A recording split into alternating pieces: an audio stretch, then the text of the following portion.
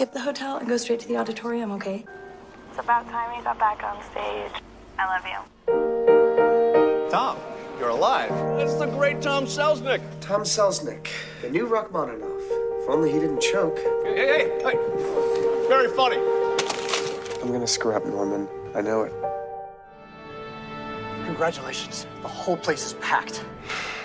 Ladies and gentlemen, Tom Selznick.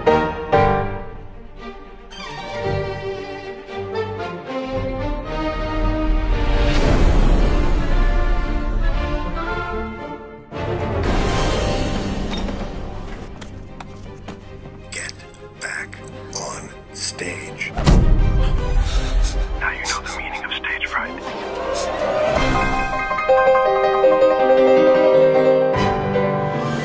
Call for help, and I will hear it. Get a guard involved, I will know it. If you do any of these things, your wife will die. Play a wrong note, and you will die.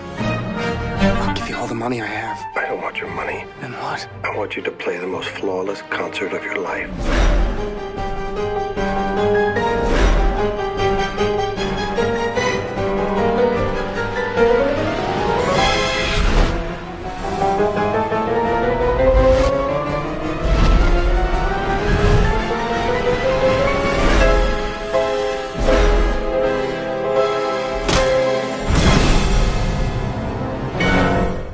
Your attention?